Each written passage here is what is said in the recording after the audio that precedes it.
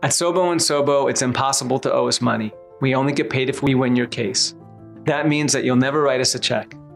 If we win your case, at the end, Sobo and Sobo would get a share of the settlement.